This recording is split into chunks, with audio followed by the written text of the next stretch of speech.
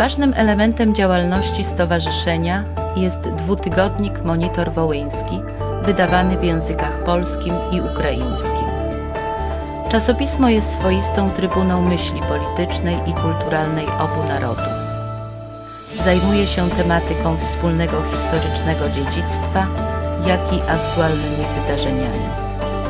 Monitor Wołyński jest promotorem wstępu Ukrainy do wspólnoty europejskiej.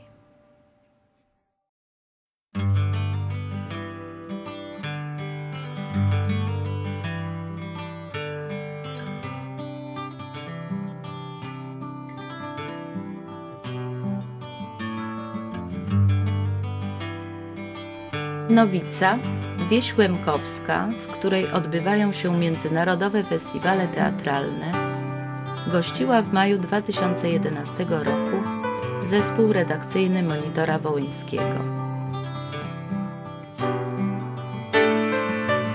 Ten wyjazd stał się inspiracją realizacji filmu pod tytułem Innowica.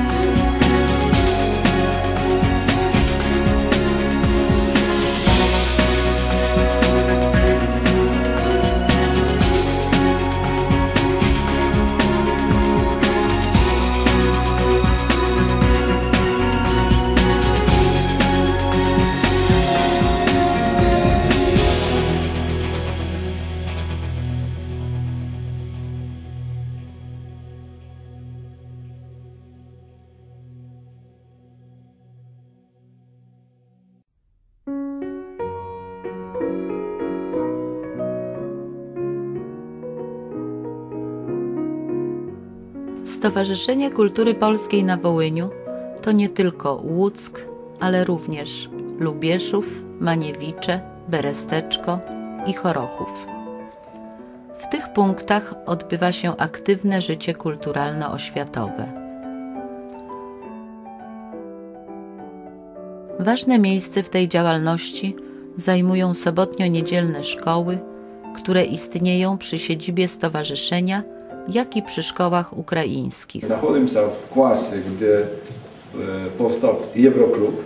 Tak. I w tym klasie także będzie wywczatysja polska mowa, co także du, duże ważliwa rzecz dla, dla nas, dla naszych krajów.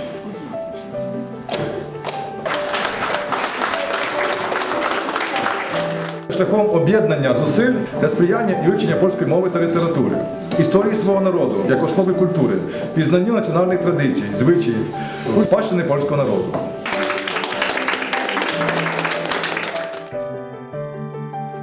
Nauczanie języka polskiego nie byłoby możliwe, gdyby nie współpraca z oświatowymi władzami ukraińskimi. Obydwie nasze держави піклуються про те, щоб добре було їхнім nacjonalnym menszynam na ich terytorium. Szczególne uznanie należy się Konsulatowi Generalnemu Rzeczpospolitej Polskiej w Łódzku za aktywne wsparcie duchowe i finansowe, co przyczynia się do podniesienia rangi nauczania języka polskiego na Wołyniu.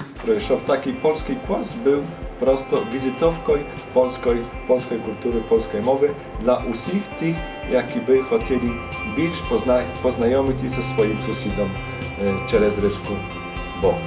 Optymizmem napawa fakt otwarcia piątego pododdziału Stowarzyszenia Kultury Polskiej imieniem Ewy Felińskiej w Rożyszczach. Z tej polsko-wołyńskiej mozaiki wyłania się jednolity wizerunek polskiej wspólnoty, co jest swoistą nagrodą dla społeczników stowarzyszenia.